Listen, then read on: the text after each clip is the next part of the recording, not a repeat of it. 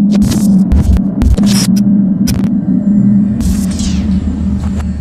1861, Herman Webster Mudgett was born in New Hampshire. It is said that at an early age he was fascinated with skeletons and soon became obsessed with death. It may have been this interest that led him to pursue medicine.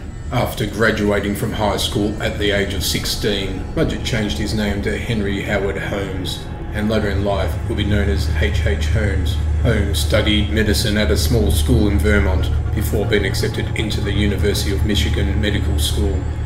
While enrolled in medical school, Holmes stole cadavers from the laboratory, burned or disfigured them, and then planted the bodies to make it look as if they'd been killed in an accident. The scandal behind it was that Holmes would take out insurance policies on these people before planting the bodies and would collect money once the bodies were discovered. In 1884, Holmes passed his medical exams and in 1885 he moved to Chicago where he got a job working at a pharmacy under the alias Dr. Henry H. Holmes. When the owner of the drugstore passed away, he left his wife to take over the responsibilities of the store. However, Holmes convinced the widow to let him buy the store. The widow soon went missing and was never seen again. Holmes claimed that she moved to California, but this could never be verified. After Holmes had become the owner of the drugstore, he purchased an empty lot across the street. He designed and built a three story hotel, which the neighbourhood called the Castle.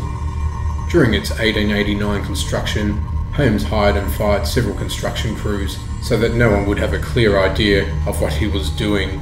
He was designing a murder castle. After construction was complete in 1891, Holmes placed ads in newspapers offering jobs for young women and advertised the castle as a place of lodging. He also placed ads presenting himself as a wealthy man looking for a wife. All of Holmes' employees, hotel guests, fiancés, and wives were required to have life insurance policies. Holmes paid the premiums as long as they listed him as the beneficiary. Most of his fiancés and wives would suddenly disappear, as did many of his employees and guests. People in the neighbourhood eventually reported that they saw many women enter the castle, but would never see them exit. In 1893, Chicago was given the honour of hosting the World's Fair, a cultural and social event to celebrate the 400th anniversary of Columbus's discovery of America. The event was scheduled from May to October and attracted millions of people from all around the world. When Holmes heard that the World's Fair was coming to Chicago, he looked at it as an opportunity. He knew many guests would be searching for lodging near the fair and believed many of them would be women who could be easily seduced into staying at his hotel.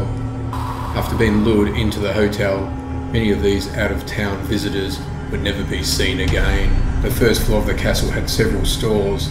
The two upper levels contained Holmes's office and over 100 rooms that were used as living quarters. Some of these rooms were soundproof and contained gas lines so that Holmes could asphyxiate his guests whenever he felt like it. Throughout the building, there were trapdoors, peepholes, stairways that led to nowhere, and chutes that led into the basement.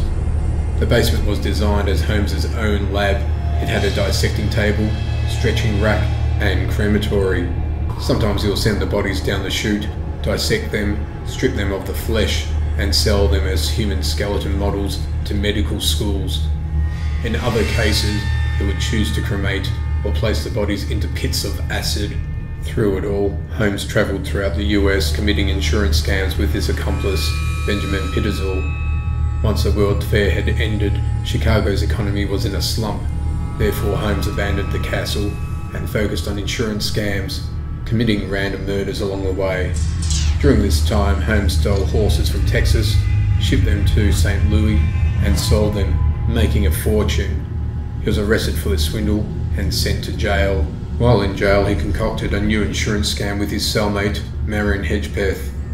Holmes said he would take an insurance policy for $10,000, fake his own death, and then provide Hedgepeth with $500 in exchange for a lawyer who could help him if any problems arose. Once Holmes was released from jail on bail, he attempted his plan. However, the insurance company was suspicious and did not pay him. Holmes then decided to attempt a similar plan in Philadelphia. This time he would have Pitezel fake his own death. However, during this scam, Holmes actually killed Pitezel and collected the money for himself. In 1894, Marion Hedgepeth, who was angry that he did not receive any money in the initial scam, told police about the scam Holmes had planned. The police tracked Holmes, finally catching up with him in Boston, where they arrested him and held him on an outstanding warrant for the Texas horse swindle. At the time of his arrest, Holmes appeared as if he was prepared to flee the country, and police became suspicious of him. Chicago police investigated Holmes's castle, where they discovered his strange and efficient methods for committing torturous murders.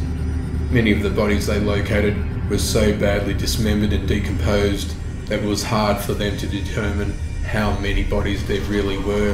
The police investigation spread through Chicago, Indianapolis, and Toronto.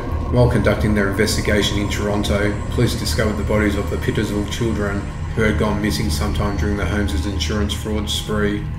Linking Holmes to their murders, police arrested him and he was convicted of their murders. In May 1896, one of America's first serial killers, H. H. Holmes, was hanged. The castle was remodeled as an attraction and named the Holmes Horror Castle. However, it burnt to the ground shortly before its opening.